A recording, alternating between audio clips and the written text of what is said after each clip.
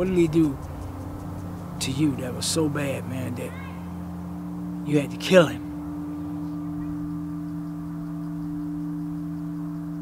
So after I was standing in that stairwell for a minute, I'm trying to think and look, you know, where he, where he would have been at. I got so many questions uh, on my own, you know.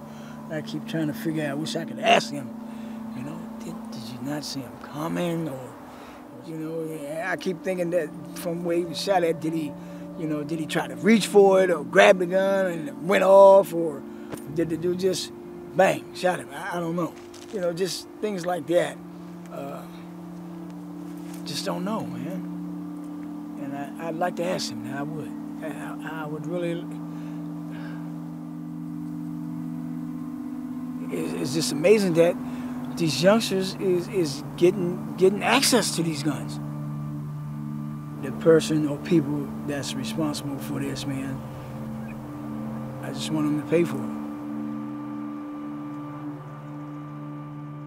I love you, man. I miss you.